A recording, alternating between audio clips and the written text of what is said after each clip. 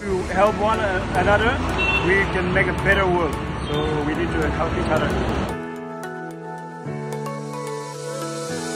Hello good morning नमस्कार खम्मा गढ़ी कैसे आप लोग? आई होप आप सब लोग बढ़िया होंगे। तो फ़िलहाल दिन की शुरुआत हम लोग यूँ कर रहे हैं कि हमें हमें जो लिफ्ट मिली थी भैया से कहाँ से मिली थी भैया आपने? कहाँ से ली थी लिफ्ट? काला तुम्बी तो काला तुम्बी से इन दोनों भाइयों ने थोड़ी सी लिफ्ट दी थी और इनकी एक फैमिली भी है थोड़ी सी खड़े हो जाइए भैया आप दोनों। तो इनकी एक प्यारी सी फैमिली भी थी जहाँ पे इन्होंने हमें डिनर करवाया था तो काफ़ी अच्छा वेलकमिंग हुआ वहाँ पे सब लोगों से मिले बातचीत किए बहुत अच्छा लगा। तो इन दोनों भाई से मिला मुलाकात करवाते हैं आपकी। भैया अपना नाम? मेरा सुनील है। तो कैसा लगा आप लोगों को कब तक का सफ़र हमारे साथ का? बहुत अच्छा लगा आप लोगों को मिलके। कोई दिक्कत परेशानी? बाहर का सब मौसम हमें आपसे साथ सीरियसली बहुत ही अच्छा लगा। यहाँ पे मतलब सब लोग ये वो उल्टा सीधा बोलते हैं यहाँ के लिए। लेकिन आप दोनों को मिलके और आप जैसे यंगस्टर मिलते हैं जब भी हमें तो काफ़ी अच्छा लगता है और हम लोग खुद मोटिवेट होते हैं। तो आप कुछ कहना चाहेंगे हमारे लिए? आप आराम से वो सब मैंने वो लोग को सब्सक्राइब थोड़ा कर दीजिए सब्सक्राइब शेयर कर दीजिए like share and subscribe subscribe सब कर दीजिए। इतना ये सब हम लोग तो उस वो लोग तो इतना दूर से आके ये सब देख रहा है। हम लोग तो जाने के लिए नहीं पा रहा है। ये उस वो लोग को थोड़ा हेल्प कर दीजिए। Okay thank you so much आपके साथ जो प्रीसियस टाइम निकला है वो बहुत ही अच्छा है। और मैं चाहता हूँ कि ऐसे जो भाई लोग मिलते हैं उनको भी आप सपोर्ट करें और थैंक यू सो मच हम लोग पहुँच चुके हैं वापस हाईवे पे। जैसे कि आप देख पा रहे हो, ये पूरा हाईवे है इस साइड से लेके यहाँ से लेके यहाँ तक। तो ये गाड़ियाँ आ रही है और फ़िलहाल हम लोग लेफ़्ट मारने की कोशिश कर रहे हैं और चल रहे हैं धीरे धीरे आगे की और जैसे कि आप देख पा रहे हैं। तो रात का सफ़र तो आपने देखा उन भाई लोगों के साथ ही गुजरा। पूरी रात एक ही ट्रक में हम लोग चार लोग सोए थे, जैसे तैसे एडजस्ट करके। और लेकिन सबसे अच्छी बात ये लगी कि उनके साथ मतलब एक को एक फ्रेंडली टाइप एकदम जैसे नहीं होते, बहुत ही पुराने बचपन के फ्रेंड्स मिल गए हों और वैसे रहे हम लोग और काफ़ी अच्छा सफ़र निकला हमारा उनके साथ और उनकी फैमिली जो कि बहुत ही स्वीट इनोसेंट और क्यूट फैमिली थी। नेपाली फैमिली थी एक्चुअली ये दोनों जो लड़के थे, ये यहाँ के नहीं थे और नेपाल के थे तो ये यहाँ के बस गए और तब से यहीं पे रह रहे हैं। काफ़ी अच्छा वेलकमिंग किया और अच्छा बातचीत हुआ हमारे बीच तो एक दूसरे को जानने की कोशिश किए। और उसमें से एक छोटा सा बच्चा था जो कि बहुत ही अच्छा रैप करता है और रैप करता ही नहीं है बाकायदा वो खुद रैप बनाता है एक्चुअली उसने मैंने जो पिछले ब्लॉग में शेयर किया था जो उसने रैप गा, गाया था वो एक्चुअली उसने खुद ने आ, मतलब कंपोज किया। कंपोज नहीं कंपोज नहीं कह सकते लिखे हैं खुद ने लिखे हैं और वो चीज़ उसने अपने आसपास के एनवायरनमेंट से वो चीज़ एब्जॉर्ब की है और उसे एक शब्दों में पिरोया है, एक रैप के थ्रू और ये चीज़ बहुत ही अच्छी लगी मुझे उसकी।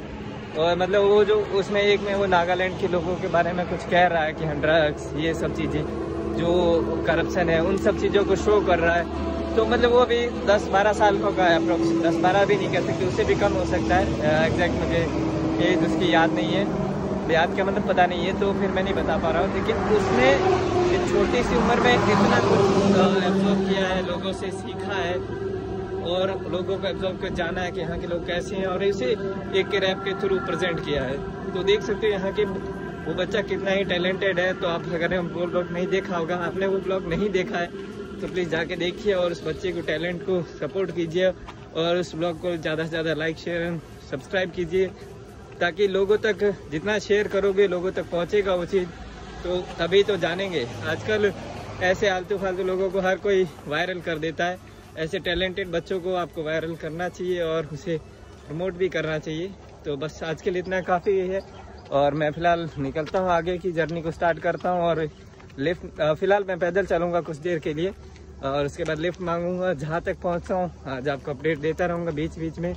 और आपसे बातें भी होती रहेगी पहली लिफ्ट मिल चुकी है जो कि बड़े ट्रेलर है, ये देख सकते हो इस टाइप का। ये ऐसे और हम लोग जा रहे हैं दीमापुर की और फ़िलहाल दीमापुर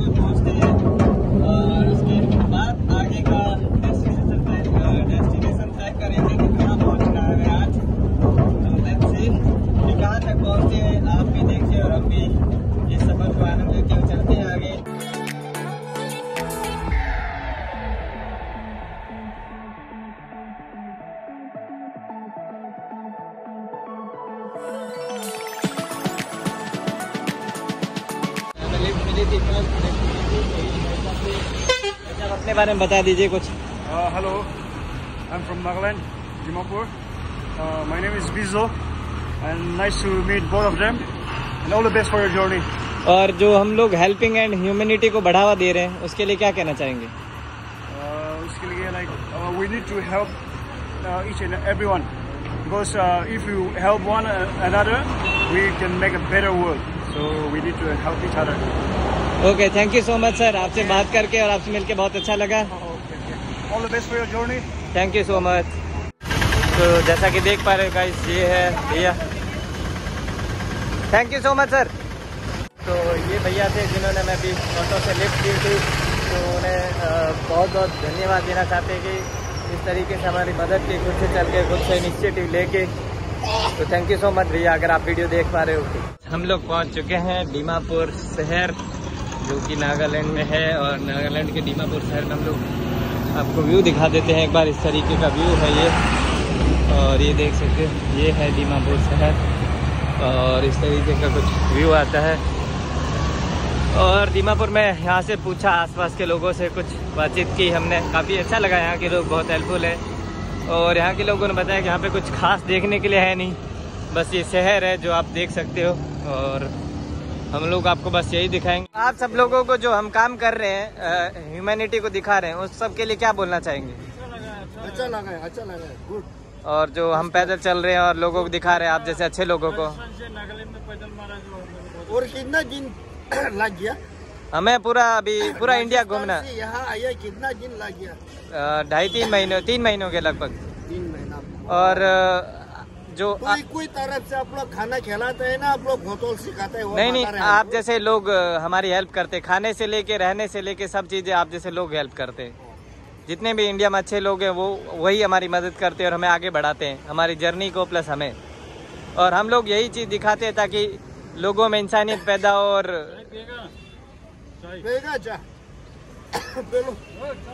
तो ये है सब लोग जिन्होंने हमारी थोड़ी सी बात की हमसे मदद किया थोड़ा और काफ़ी अच्छा लगा। इंडिया में देख सकते हो इतने अच्छे लोग हैं। हाँ। तो आप सब लोग मिलजुल कर एक साथ रहें और एक दूसरे को प्यार बरसाएँ और एक दूसरे के साथ एक भाईचारे के साथ रहें। Thank you so much sir आपसे मिलके काफ़ी अच्छा लगा। ये नागालैंड टाटा पार्किंग सब आदमी इतना आगे इन लोग का इंतज़ार कर रहे हैं और इन लोग का आशीर्वाद दे रहे हैं। क्या करेंगे? जैसा कि आपने अभी पिछली क्लिप में देखा बहुत सारे लोग मिल गए। एक ने बुलाया था उसके साथ इकट्ठा होकर वहाँ पे आसपास के जितने भी लोग थे सब आ गए। हमारे साथ बातचीत की वेलकम किया चाय पिलाई फिर उन्हें ब्रेकफास्ट करवाया। और बहुत ही ज़्यादा मतलब कह नहीं सकता मतलब इतना अच्छा वेलकमिंग किया उन लोगों ने। तो बहुत खुशी मिली हमें नागालैंड में। इस तरीके का वेलकमिंग करते हैं लोग। और लोग ये बोलते हैं कि हाँ ये प्रॉब्लम है, वहाँ वो प्रॉब्लम है नागालैंड में। लेकिन इतना कुछ नहीं है। कुछ मुट्ठी भर लोग होते हैं जो पूरे नागालैंड को बदनाम करते हैं। तो ऐसा ना करें और मैं सबसे यही रिक्वेस्ट करना चाहता हूँ, सब मिलजुल के प्यार से रहें, इंडिया में एक भाईचारा पैदा करें और ये काफ़ी अच्छा रहेगा।